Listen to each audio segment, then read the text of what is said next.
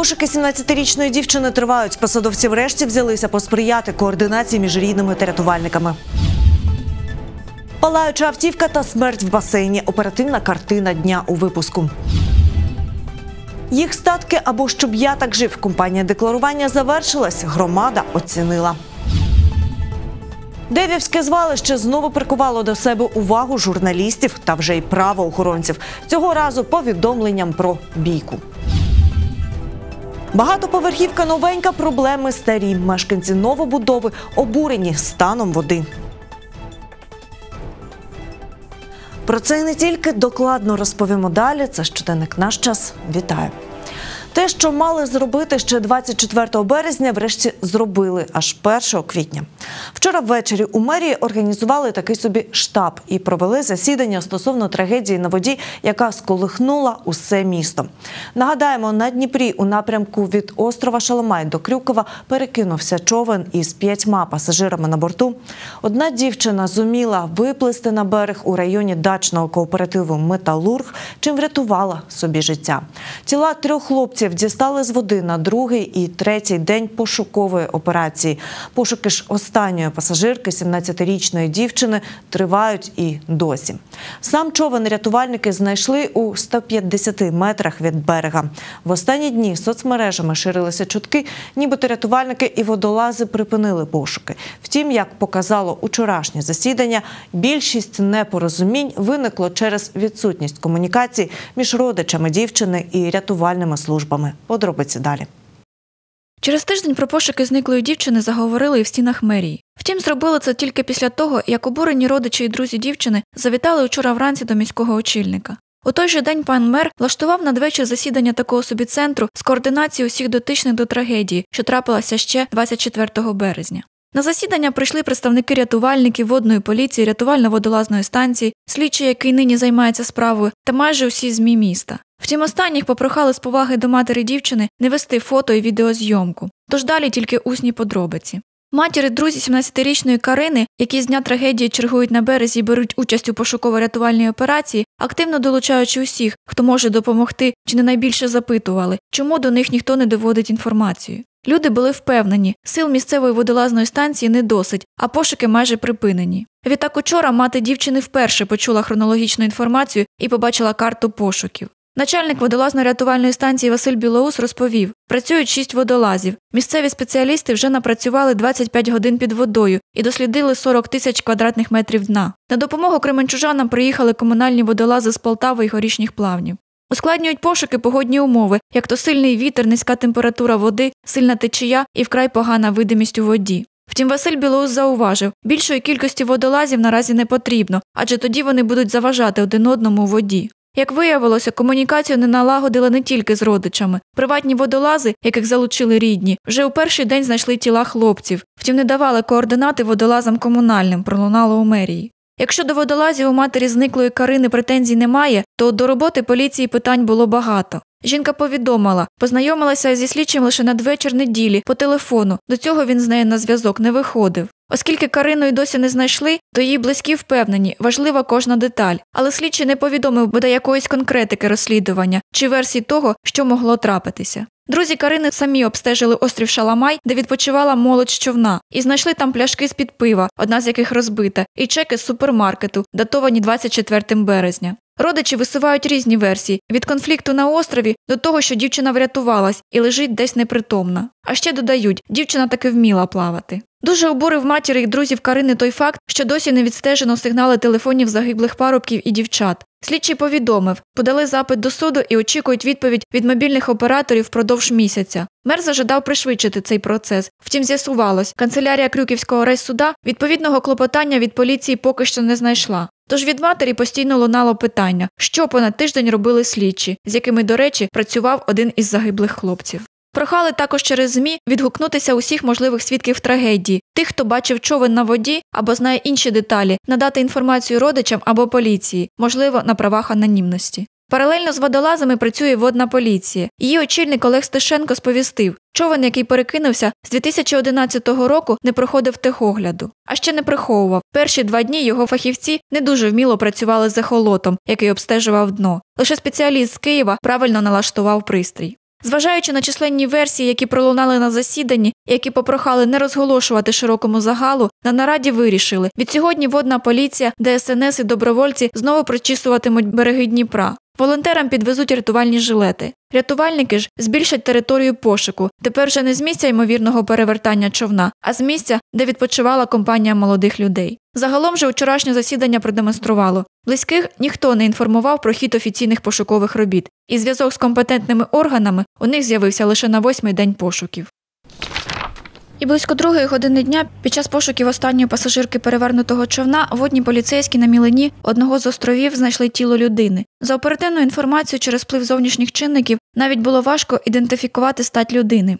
Виявили на острові е, тіло, яке зараз доставлено на сушу, і проводиться огляд його судово-медичним експертом та слідчо-оперативною групою Кременчуцького районного відділення поліції.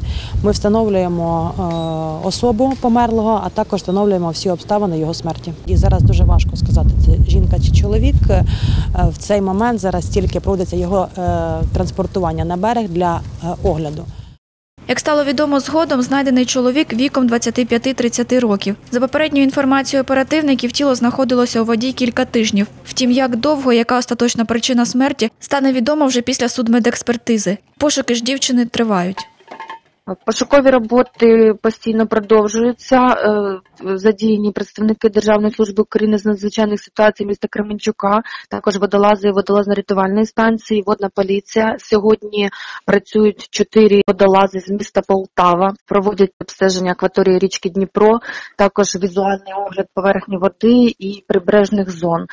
Сьогодні обстежили приблизно 7 гектарів. Сумарний час занурень під водою сьогодні склало близько трьох годин. На даний момент дівчину не знайшли, тому пошукові роботи продовжуються. Завтра пошукові роботи розпочнуться з самого ранку. Палаюча автівка, трагічний випадок у басейні та покарання за завищені ціни у шкільних їдальнях. Актуальна добірка коротких новин далі. У Кременчуці палала автівка. Пожежників на вулицю генерала Жадова викликали близько п'ятої години ранку. Вогонь вщент знищив передню частину Нісану 2015 року випуску. Автомобіль належить місцевій кременчужанці, 33-річній е, приватній підприємець. Зараз за фактом відкрито кримінальне провадження статтею 194 частиною 2. Всі обставини даної пригоди з'ясовуються слідством. Ми звертаємося до всіх свідків та очевидців, можливо, громадян, які проходили з 4 до 5 ранку в даному районі і мають інформацію про події, повідомте її на лінію 102 або ж будь-яким зручним вам способом до е, слідчих Кременчуцького відділу поліції. На сьогодні назначили відповідну експертизу. Не виключаємо, що це дійсно був підпал. У басейні одного зі спортивних клубів міста приватної форми власності під час тренування помер чоловік. Серце 44-річного кременчужанина зупинилося до приїзду лікарів екстреної медичної допомоги. На місці працювала слідчо-оперативна група. При виїзді на місце пригоди було встановлено, що чоловік е, плавав в басейні, йому стало погано і помер до приїзду медиків. За даним фактом зараз проводиться перевірка, опитано свідків та очевидців даної пригоди. Помер чоловік 1975 року народження, місцевий кременчужанин. По проспекту Лесі Українки 12-літню дівчинку на пішохідному переході збила машина. ДТП сталося увечір понеділка. Водій нібито їхав на червоне світло. Для перевірки стану здоров'я дівчинку забрали до лікарні. Як стало відомо згодом, постраждалі до поліції вирішили не звертатися. Дві скляні колби з речовиною, схожою на ртуть, вилучили надзвичайники. Про потенційно небезпечну знахідку повідомив кременчужанин, який розбирав речі дідуся у гаражі на молодіжному.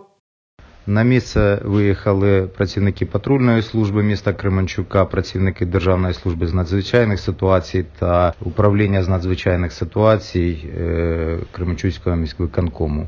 Е, Ними було вилучено колби для подальшої утилізації.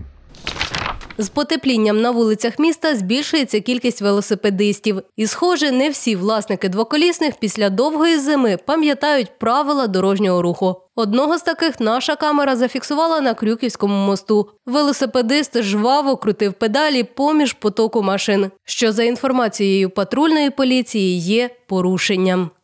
При спуску підйомі на Крюковському мосту встановлено дорожній знак 3.8, що забороняє рух на велосипеді через міст.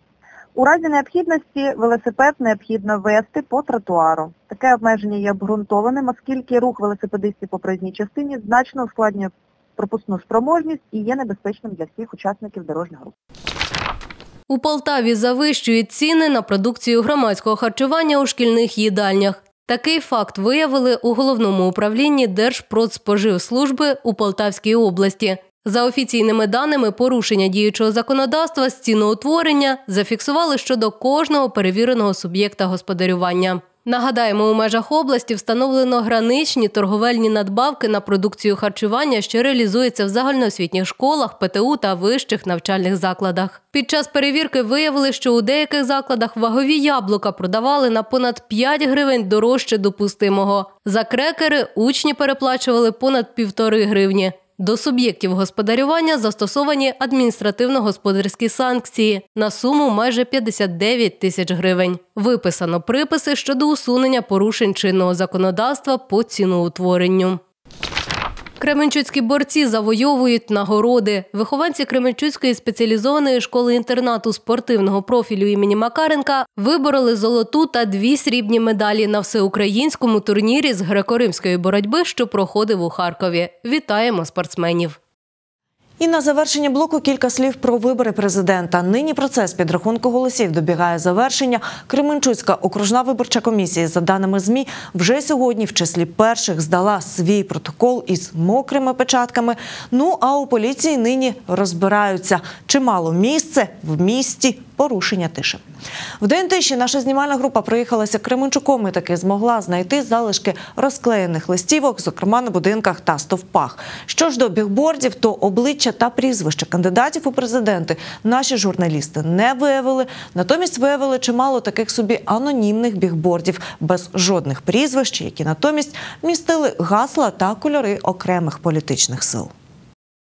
Суботу до Кременчуцького відділу поліції надійшло ряд інформації стосовно е, порушення агітації до дня виборів. Вся ця інформація зареєстрована. Люди повідомляли про те, що на вулицях міста розміщено бікборди з е, інформацією, яка містить собі агітацію за того чи іншого кандидата. Зараз ці матеріали зареєстровані, проводиться по них перевірка. Тому числі направлено запити на е, окружні виборчі комісії для роз'яснення, чи є дана інформація агітаційною. Бікборди, де містили собі слова, е, той чи інший колір політичної організації. Це все зараз ми чекаємо заключення безпосередньо окружної виборчої комісії, яка точно скаже, чи це соціальна реклама, чи це все таки агітаційна інф- інформація. Якщо буде признано, що це агітаційна інформація на власників е, рекламної організації або ж власників бікбордів, буде складено відповідно адміністративні матеріали.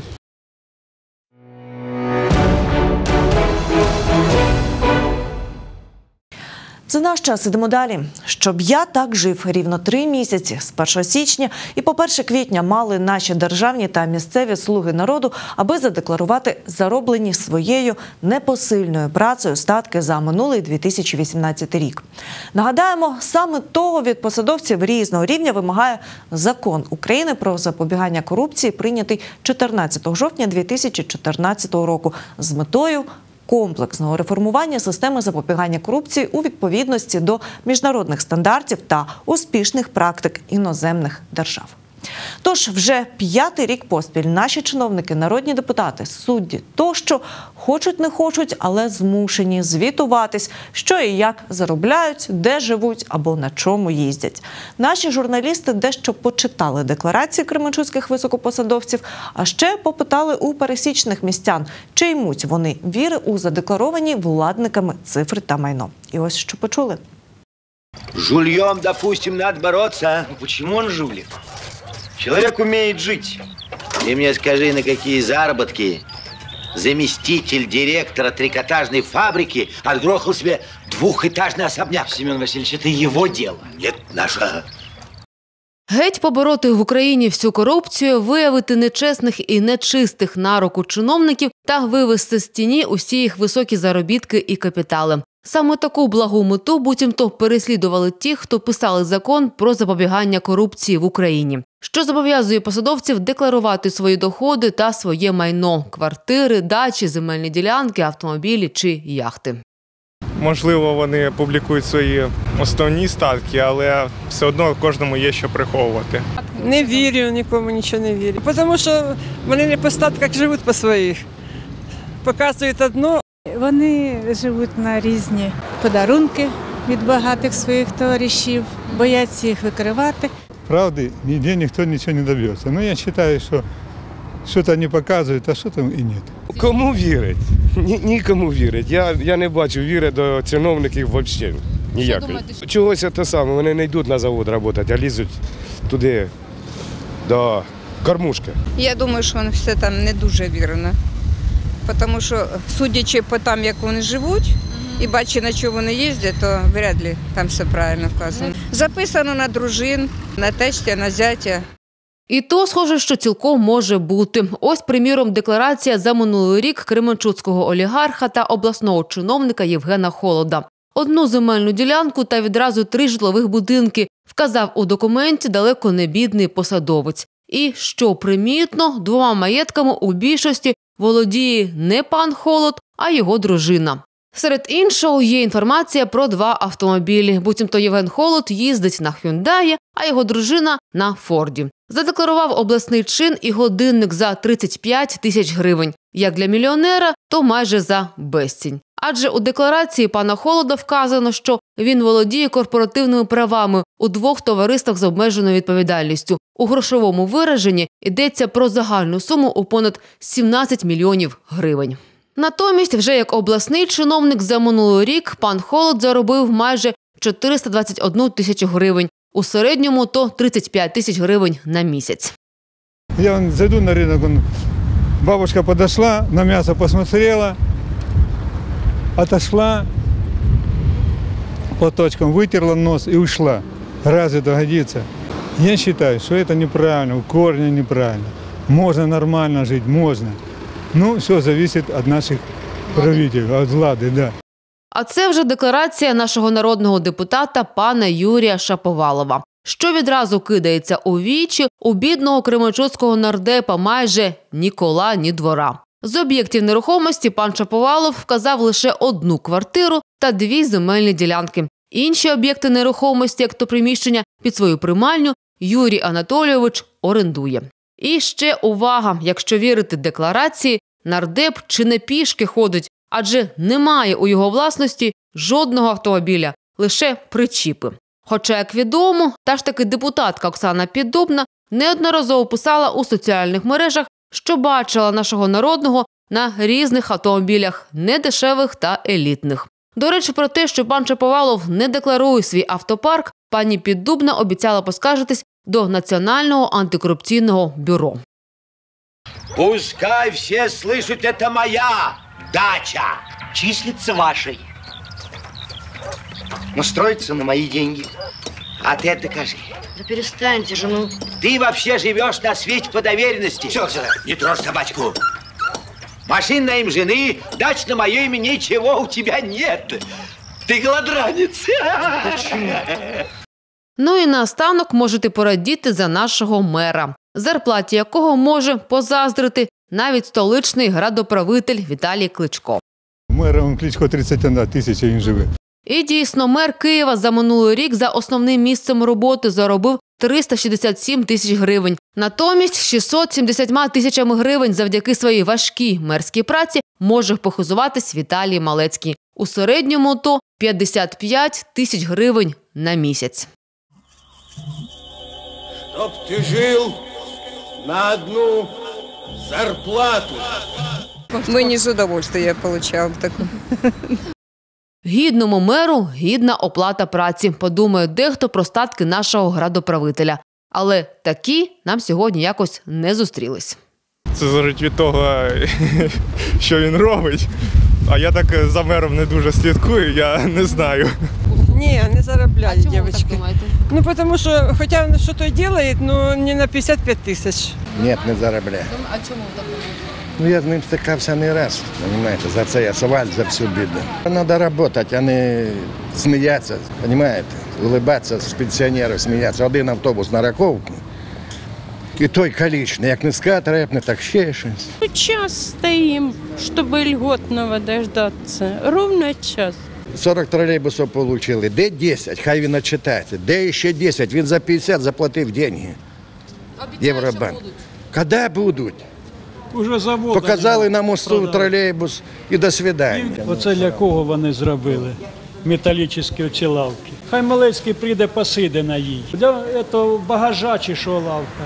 Нема де посидіти. Треба такий закон, але вони ж його не приймуть саме для себе, щоб можна було їх відзивати.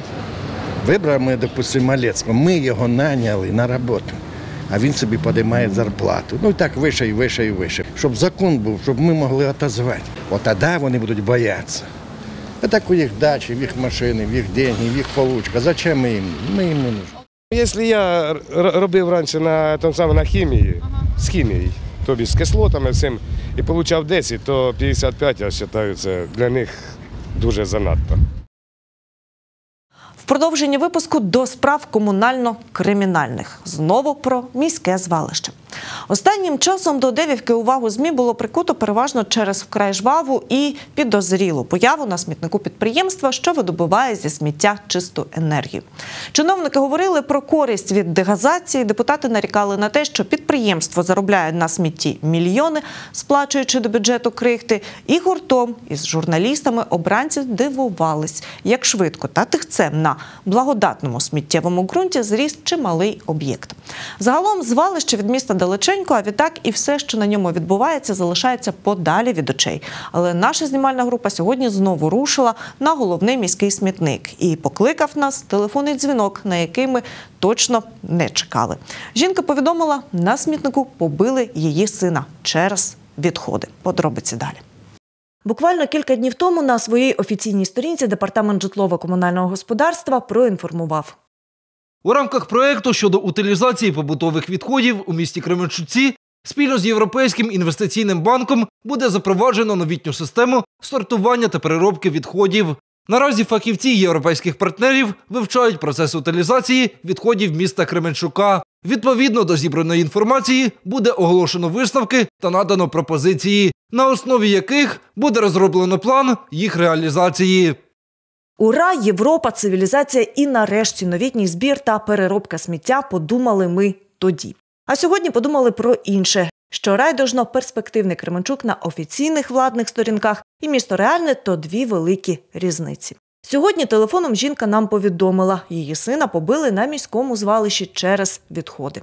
Я понабирала свиней. Поїхала дитина. Диви, що моя дитина привезла. Диви. Бачиш?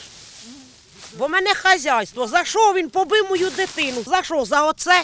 Часто ходю. Вони ганяють, кричать. Ми не йдемо туди на свалку, ми на склоні збираємо кормо. А він не хотів просто, щоб це забирали зі звалища? Ну так, да, він не розрішає, щоб ми не ходили туди, не собирали. Бо там мадяри йому собирають баклажки. Побив, хорошо, я й скору визивала. Дитини голова крутиться, тошнить дитину. Ви до поліції зверталися? Да. У факті побиття надалі розбиратимуться вже правоохоронці. Принаймні у поліції отримали відповідне повідомлення. Від заявника прийнято, е, прийнято письмову заяву, його опитано за фактом пригоди. Е, Зараз перше відділення поліції дає юридичну оцінку скоєної пригоді. Чоловік заявляє про те, що в нього виник, конфлікт е, з представниками організації, яка знаходиться на Деївському звалищі. Зараз ми встановлюємо всіх учасників конфлікту і встановлюємо всі обставини даної пригоди. Це якась конкретна організація? Е, Ну, я так розумію, це е, представники Деївського звалища. Він вказує. Він людину вказує в своїх матеріалах. Зараз ми будемо спілкуватися з іншою стороною і давати юридичну оцінку даним діям. Ну а доки поліція шукає вину та винуватих, ми вирішили розібратись у інших словах жінки про те, що мовляв, закрита територія звалища геть відкрита для своїх, які і займаються сортуванням сміття. Він там відкрив прийомку. З-під тяжка, щоб ніхто не знав. І відкрив прийомку, і діти там роблять, усі роблять. І з-під тяжка приймає. Примітно, що схожі повідомлення ми вже чули свого часу і навіть фільмували працівників сортувальників. Між тим фільмувати тут є що, бо побачене вражає. Тут таки засмаглі чоловіки та жінки сортують сміття. Територія заставлена рівненькими рядами різного розміру лантухів, вщент заповнених пляшками, ба навіть більше. Поміж куб непотребу бігають і дитячі ніжки. Коли ж востаннє були на Девівці, теж помітили ознаки наявності неофіційних трударів та тоді керівник звалища нас запевнив. А що це у вас за фасована тара і хто тим займається? Это мусор. Все. В мешках прям вам его так и привозят? Ну, не, ну кто По-разному привозят. сортировал, там бутылочки одного цвета к одним, вторые к Я прошу прощения, обеденный уже перерыв. У нас регламент, поэтому с вашего позволения или вместе с вами, или по отдельности, давайте. Ну кто-то же их разбирает. Никто их не разбирает. Они сами по себе, как скатерть самобранка. Это мусор. Будь-який кременчужанин може прийти назбирати Так точно. пляшок і вам віддати, здати пляшку. Где тут назбирать? А, Ну, десь назбирати. Ну, десь а нас назбирати. паличі я можу збирати? Я думаю, не может. Машина вас может переехать случайно. Сьогодні ж ми вирішили повернутись на смітник. Самого директора на місці не застали, а ось робочий процес та працюючих зафільмували. Щоправда, недовго, бо назвали ще був інший керівник.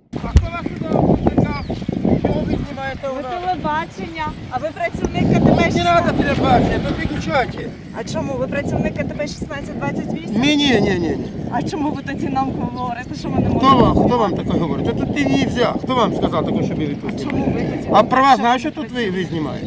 Не працівник КТП рішуче нас привів до своїх головних працівників КТП. Щоправда, тут коментувати дії чоловіка відмовились. Що ж до працюючих і сортуючих, то їх, як тих привидів, працівники підприємства, звісно, впритул не бачать.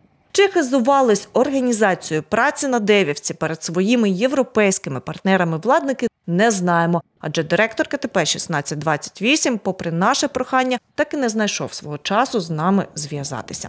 Тож поки чекаємо і, схоже, можемо говорити про два міста: Кременчук владників з європейськими партнерами і грандіозними планами, і місто реальне, де за банальне сміття влаштовують ледь не розбірки зразка 90-х. Ну і якості після мови до цього матеріалу про інший матеріал пластик і поліетилен. Сьогодні все частіше ми чуємо, що світ відмовляється від виробів із цих матеріалів. Пакетики і кульочки змінюють ємностями екологічними, і на те в екологів купа поважних причин. Якщо ви сьогодні вирішуєте для себе чи упаковувати в пакетик той чи інший товар при купівлі, то наступні кадри вам із тим вибором, сподіваємось, допоможуть.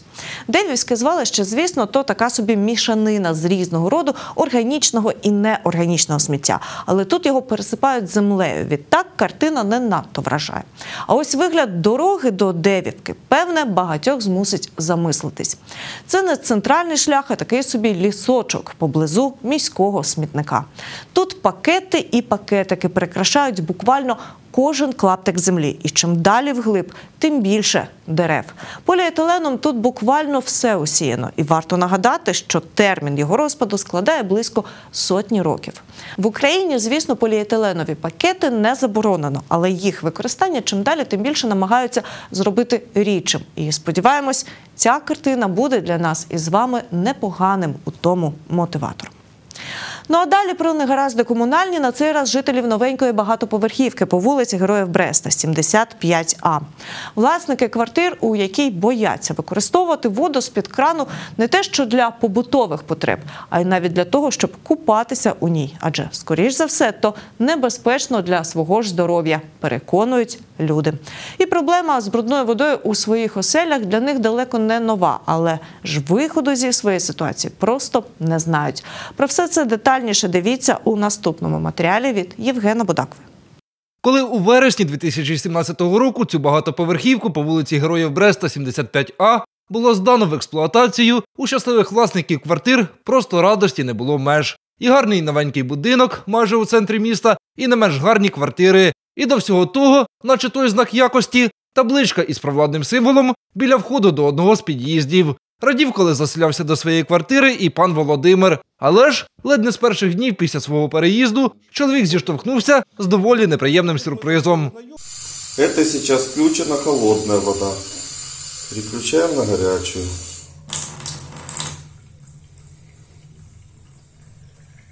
Вот я заехал, живу с мая месяца прошлого года.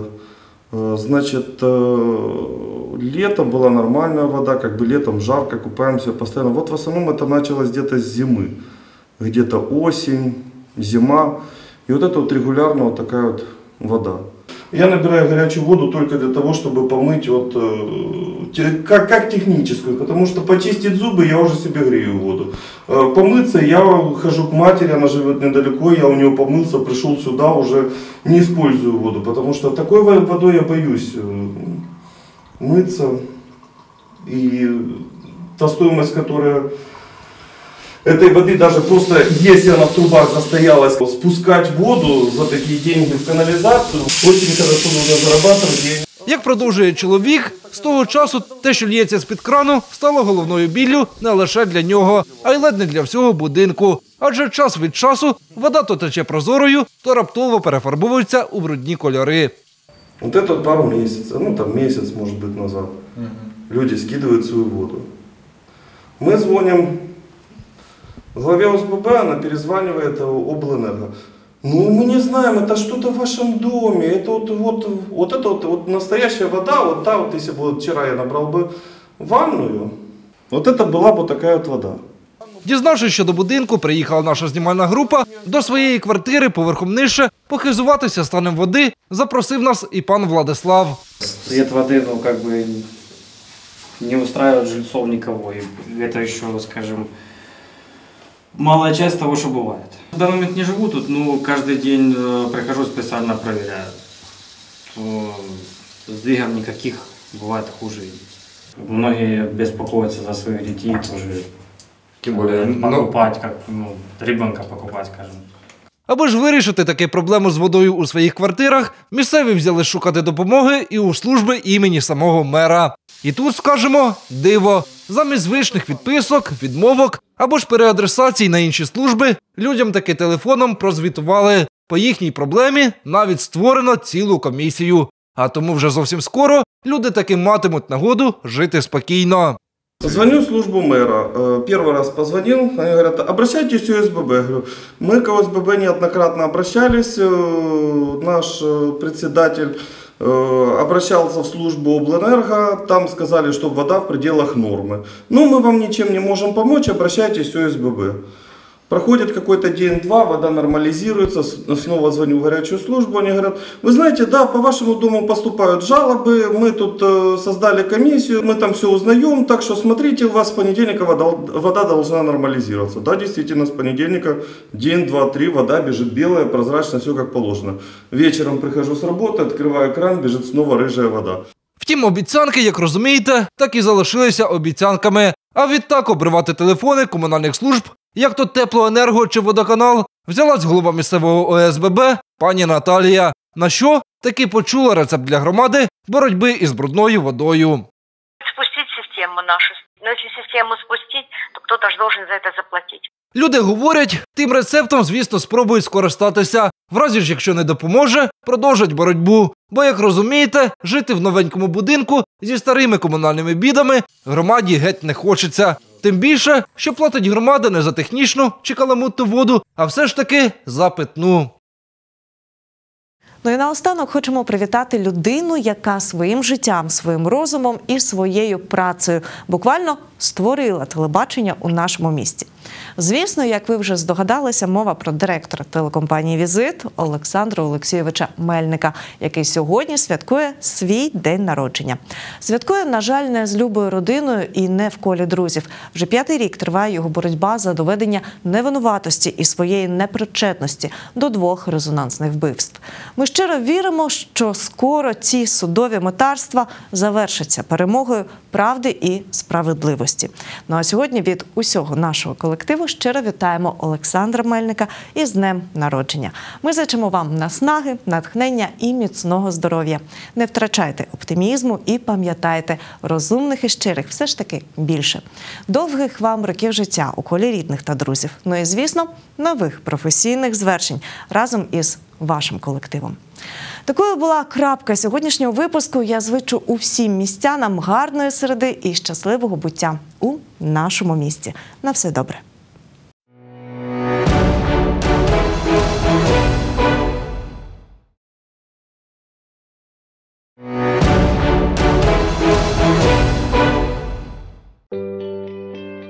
Прогноз погоди на телеканалі Візит. Тепле повітря почне витісняти весняну прохолоду. У деяких областях температура повітря прогріється до плюс 15 градусів. 3 квітня на заході країни у Львові хмарно з проясненнями. Опадів синоптики не прогнозують. Термометри зафіксують від 0 до теплих 14 градусів. Торгова марка Гармонія твоє гармонійне життя. Молоко пастеризоване жирністю 2,5% від Лубенського молокозаводу. Національне виробництво з відзнакою якості. Оновлена упаковка. Шукай торгову марку Гармонія з петриківським розписом на упаковці. І знову до синоптичних прогнозів. На півночі країни у Києві очікуємо на ясний сонячний ранок, але вже вдень на небосхилі з'явиться невелика хмарність. Без опадів. Температура повітря коливатиметься у межах від плюс 1 до плюс 10 градусів. Далі про погоду на півдні країни.